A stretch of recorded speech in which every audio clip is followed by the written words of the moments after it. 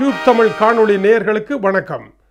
பலூன்களை பிள்ளைகள் பாவிக்கின்ற பொழுது புற்றுநோய் அபாயம் இருப்பதாக டென்மார்க்கில் இன்று வெளியாகி இருக்கின்ற ஆய்வறிக்கை ஒன்று தெரிவிக்கின்றது. இந்த ஆய்விலே பதினைந்து விதமான பலூன் உற்பத்திகள் எடுக்கப்பட்டன. அவற்றில் ஏழு விதமான பலூன் உற்பத்திகள் புற்றுநோய் தரக்கூடிய ரசாயன கலவைகளினுடைய அளவு அளவுக்கு அதிகமாக இருப்பதாகவும் அந்த ஆய்வு கூறுகின்றது.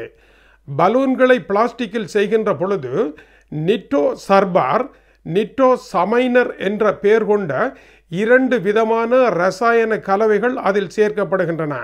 பலூன்களை இலகுவாக செய்வதற்கும் பதமாக இருப்பதற்குமாக சேர்க்கப்படும் இந்த கலவை ஒரு அளவுக்கு மேல் போகக்கூடாது என்று உலகளாவிய சுகாதார பகுதியும் ஐரோப்பிய ஒன்றியமும் தொடர்ந்து வலியுறுத்தி வருகின்றது. இவ்வாறு வலியுறுத்தி வந்தாலும் கூட இரண்டாயிரத்தி பதினைந்தாம் ஆண்டில் மேற்கொள்ளப்பட்ட ஆய்வுகளின்படி முப்பத்தி ஒன்பது பலூன்களை எடுத்தால் அவற்றில் இருபத்தி ஒன்பது பலூன்களில் மிக கூடுதலாக இதனுடைய அளவு பதினைந்து வீதம் அதிகமாக காணப்பட்டது.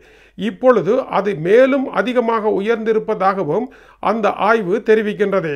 இவ்வாறு பலூன்களில் நிட்டோ சர்பார் நிட்டோ சமைனர் என்பன அதிகரித்து இருப்பதானது இருபது பலூன் தயாரிப்புகளுக்கு நான்கு என்கின்ற அடிப்படையில் இன்று உயர்வு கண்டு இருப்பதாகவும் அந்த ஆய்வு தெரிவிக்கின்றது.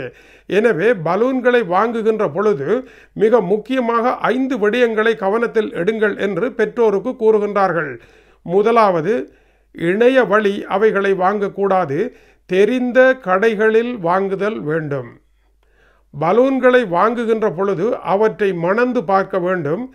அவற்றில் ஒரு வகையான ரசாயன நெடி வீசினால் அவற்றை திருப்பி ஒப்படைத்து விட வேண்டும். பலூன்களை வாயினால் ஊதுதல் கூடாது. அதற்கான காற்றடிக்கும் பம்ப்களினால் அடித்து பலூன்களை ஊதுதல் வேண்டும்.